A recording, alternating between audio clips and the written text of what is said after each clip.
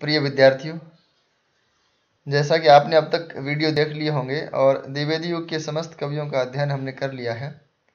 अब हम एक बात हमने शुरुआत में पढ़ी थी कि जब खड़ी बोली को काव्य धारा में प्रमुख स्थान दिया जाने लगा और पीछे से काव्य के अंदर ब्रज भाषा का प्रचलन है, वो लंबे समय से कम से कम पूरे मध्यकाल से ही चला आ रहा था।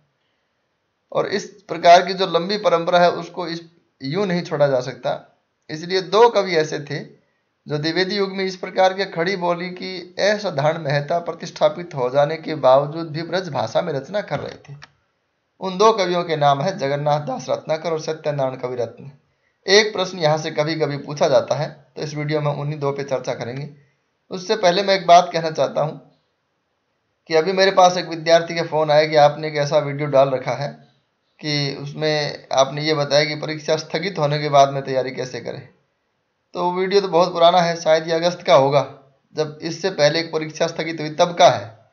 और उसका शीर्षक मैंने यूँ दिया था, आरपीएससी स्कूल व्याख्याता भर्ती परीक्षा स्थगित होने के बाद। तो वो पुराना वीडियो है, मुझे उसमें तारीख डालनी चाहिए थी, या तो मैं उसमें तारीख डाल दूँगा, आज उसको एडिट करके, उसके शीर्षक में। आप थोड़ा सा ये ध्यान रखें कि आ, मेरा इसमें था नहीं क्योंकि अगर ऐसा फ़ोन आ गया तो और भी विद्यार्थी ने उसको देख लिया होगा। तो आप थोड़ा उसको देख ली उसको कब शायद उसके नीचे को डेट वगैरह ऐसा आती होगी नहीं आती तो मैं उसको एडिट करके डाल दूँगा। जगन्नाथ दास रत्नाकर की बात करें बच्चन सिंह इसके बारे में काफ़ी बहुत अच्छी बातें लिखते हैं और वह ये कहते हैं कि भले ही वो जगन्नाथ दास रत्नाकर वो खड़ी बोली के मतलब खिलाफ बोलते रहे और ऐसी काव्य धारा जिसमें खड़ी बोली है, वो द्विवेदी युग में पूर्णतः स्थापित हो गई और पूरे भारतवर्ष में चाहे वो राजनीति की भाषा हो, चाहे आंदोलन की भाषा हो, चाहे वो उसमें अदालतों की भाषा भी खड़ी बोली बनाए जाए मूवमेंट चल रहा था फोर्ट विलियम कॉलेज की स्थापना हुई थी, उसके बाद में भाषा को लेकर बहुत सारी बातचीत हुई, जागृति हुई, पत्रिकाएँ बनाई गई, आंदोलन खड़े हुए और एक मिशन के रूप में यह काम किया गया। लेकिन इस प्रकार के दौर में भी ब्रज भाषा में बने रहना और यूँ बना रह बना रहना कि उसकी कोई चर्चा है। कविता तो इसी समय खड़ी बोली के अलावा भी भोजपुरी में भी लिखी गई। जैसे मैंने आपको बताया था, हीरा डोम की अछूत की शिकायत कविता है। लेकिन इस प्रकार से जगन्नाथ दास रत्नाकर वो बहुत प्रसिद्ध रहे। तो एक बड़ी बात होगी इस कवि में, जो इस कवि ने इस प्रकार के खड़ी बोली के दौर में भी ब्रज भाषा को ज़िंदा रखा। और हालाँकि ऐसा माना जाता है कि खड़ी बोली के समर्थकों को इन्होंने हठी और मूर्ख कहा था। तो यह उनका एक प्रकार से खड़ी बोली के विरुद्ध एक भाव दर्शाता है। लेकिन फिर भी इनका जो उद्धव शतक काव्य संग्रह उसकी चर्चा हर हिंदी साहित्य के इतिहास में आवश्यक रूप से पाई जाती है। तो ऐसी कौन सी बात इसमें थी?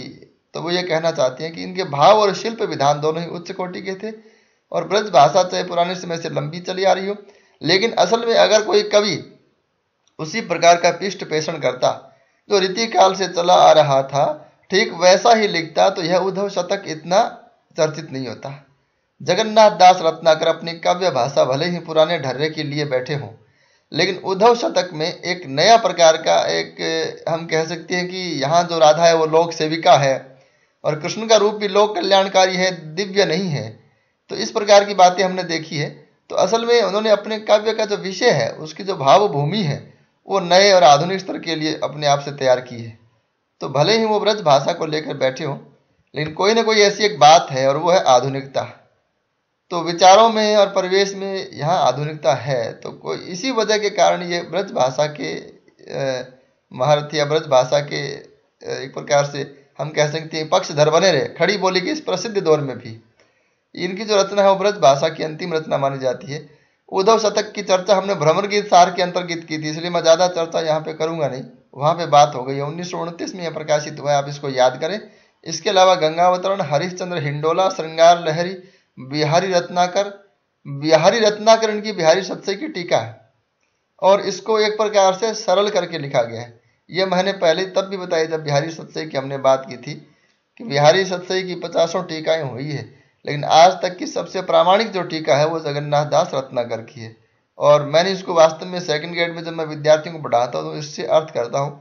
तो एक एक दोहे के दो दो तीन तीन अर्थ और बहुत अच्छे तरीके से उसको उन्होंने दिया है। तो जो हम साधारणतः जिस भाषा, बिहार ब्रज भाषा के शब्दों के अर्थ जो हम निकालते हैं, वही अर्थ यहाँ पे हमें मिलते हैं। इसके अलावा पाश्चात्य पोप की ऐसे ऑन क्रिटिसिज्म का रोला चंद में अनुवाद किया था। दूसरे कवि हैं सत्यनारायण कवि रत्न। हालाँकि जिस प्रकार से उद्धव शतक की चर्चा रही, उस प्रकार से सत्यनारायण कवि रत्न के किसी भी काव्य की चर्चा नहीं हुई। लेकिन ये भी समसामयिक कविता के कवि रहे और इन्होंने ब्रज भाषा में भी ऐसी कविताएँ लिखी।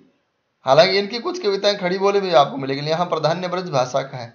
तो इन्होंने अपने काव्य में इस प्रकार की कविताएँ लिखी जो समसामयिक मुद्दों पर प्रकाश डालती थी। इनका उपनाम है ब्रज कोकिल है, रचना इनकी एक ही है। असल में हम कई बार विद्यार्थी पढ़ते हैं कि प्रेम कली और भ्रमर दूत, इनकी एक ही रचना है हृदय तरंग, और हृदय तरंग में दो रचनाएँ संकलित हैं, प्रेम कली और भ्रमर दूत। भ्रमर दूत का अपेक्षाकृत थोड़ा सा तुलनात्मक अध्ययन हमने भ्रमर गीत परंपरा में सूरदास या भक्ति, कृष्ण भक्ति काव्य के अंत में हमने किया था। तो आप केवल उसका रचना का नाम याद रखें। हॉरिशस मेकाले की लिखी हुई पुस्तक है, उसका हिंदी अनुवाद किया। रामचरित और मालती माधव का अनुवाद उन्होंने ब्रज भाषा में किया। समसामयिक कविताओं के कवि रहे। ये आप थोड़ा सा इसको देख लें। और कूली प्रथा के विरुद्ध पुकार, बोझड़ होने वाले जो कूली होते हैं, उनके विरुद्ध पुकार है, वो उन्होंने कविता लिखी थी एक समसामयिक। इसके अलावा ये एक पंक्ति कही जाती है कि जगन्नाथ दास रत्नाकर के काव्य में भक्ति काल व रीति काल का समन्वय है। असल में जगन्नाथ दास के रत्नाकर में काव्य शास्त्रीय तत्वों का अधिक समावेश है। इसलिए उनका यहाँ विषय वस्तु चाहे भले उद्धव शतक की है, कृष्ण भक्ति काव्य की है, ये विषय वस्तु वहाँ की है, लेकिन यहाँ इनके काव्य में रीति तत्वों का समावेश है। इसलिए कहा जाता है कि इनकी यहाँ भक्ति काल व रीति काल का समन्वय है। वहीं सत्यनारायण कविरत्न में भक्ति काल व आधुनिक काल का समन्वय है। नारी शिक्षा को लेकर इनका जो भ्रमर दूत है, वो काफ़ी हरेक अनेक सामाजिक मुद्दों को लेकर आधुनिकता दिखाता है। अनेक सामाजिक मुद्दों में नई सोच और नई विचारधारा, चाहे नारी शिक्षा हो, चाहे कुछ और हो, चाहे समाज सेवा हो, चाहे राष्ट्रीयता की भावना हो। तो कुल मिला के मुद्दा उनके भी, यहाँ भी कृष्ण और राधा और गोपियाँ और वो भ्रमर गीत है। भ्रमर दूत में भी, सत्यनारायण कवि रत्न भ्रमर दूत में भी। लेकिन वहाँ जो सोच है, वो इनकी आधुनिक है। तो इनके यहाँ भक्ति काल व आधुनिक काल का समन्वय है। असल में ये जो दोनों टिप्पणी है वो जगन्नाथ दास के रत्नाकर के उद्धव शतक और सत्यनारायण कवि रत्न के भ्रमर दूत को लेकर की गई है। इसके अलावा हम इस काल में अगर तीसरे कवि की बात करें, हालाँकि यह कवि के रूप में इतने प्रसिद्ध नहीं हुए जितने इतिहासकार और आलोचक के रूप में और निबंधकार के रूप में हुए। आचार्य रामचंद्र शुक्ल है, उन्होंने एक पुस्तक का अनुवाद किया था। यह कॉलेज व्याख्याता भर्ती परीक्षा 2014 में पूछी भी गई थी। एडविन अर्नोल्ड की एक पुस्तक थी लाइट ऑफ़ एशिया उसका हिंदी में अनुवाद, सॉरी, ब्रज भाषा में अनुवाद उन्होंने बुद्ध चरित नाम से उन्नीस में किया था। तो बुद्ध चरित की चर्चा भी इसमें हुई थी। एक पूरा का पूरा प्रश्न आया था। शायद सत्य है, सत्य कथन ऐसे करके आया था, मुझे याद नहीं अब। तो ये द्विवेदी युग का ब्रज भाषा काव्य है। यहाँ से एक प्रश्न बारी बारी से पूछा जाता है, चाहे वो जगन्नाथ दास रत्नाकर के बारे में पूछा जा रहा हो, चाहे वो सत्यनारायण कवि रत्न के बारे में पूछा जा रहा हो। बहुत से विद्यार्थियों की एक मांग ये भी है कि हम प्रश्न पत्र को हल कैसे करें, उसको कैसे करें। तो मैं आज या कल में एक ऐसा वीडियो बनाऊँगा जिसमें आप प्रश्न पत्र को हल करने को लेकर समझेंगे। तो मैं एक ये कहना चाहता था आपको, एक कम्युनिटी में मैं पोस्ट भी डालूँगा। एक, जब आप चैनल खोलते हैं तो चैनल के, अगर आप चैनल पर क्लिक करते हैं तो ऊपर ऐसे आता है कि होम वीडियो प्लेलिस्ट कम्युनिटी तो वहाँ एक पोस्ट में डाल दूँगा आप, कि आपके प्रश्न पत्र को हल करते समय आपके सामने कौन कौन सी समस्याएँ आती हैं, वो आप टिप्पणी करें। ताकि मैं, हालाँकि मैं मेरे मन से बताऊँगा, लेकिन ज़ाहिर सी बात है कि जो कुछ मैं कहता हूँ वो मेरा अनुभव है। और प्रत्येक विद्यार्थी की परिस्थितियाँ अलग अलग होती है, प्रत्येक विद्यार्थी की मानसिक और शारीरिक क्षमताएँ अलग अलग होती है। तो बहुत सारे विद्यार्थी दबाव में आ जाते हैं, मैंने कभी कोई दबाव, मुझे कभी, मेरे अंदर कोई कोई ऐसा दबाव मैंने कभी देखा नहीं। तो हो सकता है फिर इस बात को मैं कैसे समझ पाऊँ? तो मुझे लगता है कि प्रश्न पत्र को हल करने में आपके सामने जो समस्या आती है उसको डिटेल से आप प्रश्न के रूप में आप टिप्पणी में लिखें।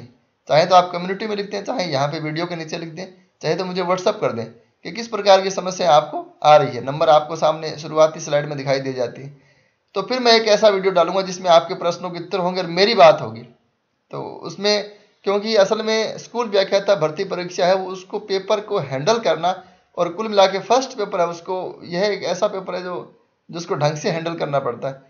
तो मैं मेरी कोशिश करूँगा कि आप कुछ दोनों पेपर के लिए आप कह सकते हैं। मैं एक दो मेरे मित्रों से भी बात करूँगा, फ़र्स्ट पेपर और सेकंड पेपर को लेकर, कि हम किस प्रकार से इस प्रश्न पत्र को हल कर सकते हैं ताकि हमें दो तीन प्रश्न का फ़ायदा हल करने के तरीकों को लेकर हो।